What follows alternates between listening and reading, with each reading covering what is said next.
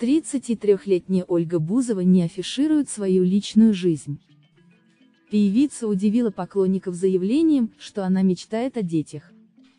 Исполнительница поделилась трогательным видео, снятым после концерта. Две маленькие девочки ждали Ольгу в холле, чтобы лично пообщаться с ней.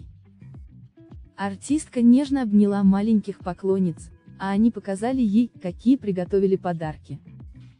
Одна из девочек вместе с мамой сама испекла печенье.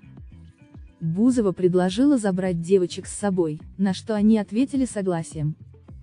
«Я хочу двух принцесс», — радостно сообщила звезда. Детская любовь самая светлая и искренняя. Спасибо. Как же я хочу своих пуговок, написала Ольга в Инстаграм.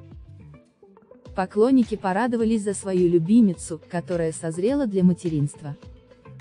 Я уверена, вы будете хорошей мамой. Боже, ты прям светишься с детками. Мило, очень мило, как мило. Олечка, забирай двух принцесс, написали фоловеры. Недавно Ольга Бузова шокировала фанатов, раздевшись до трусиков на улице в Санкт-Петербурге. Милана Тюльпанова сообщила, что бывший муж бил артистку. Ранее Бузова высказала желание поехать на Евровидение.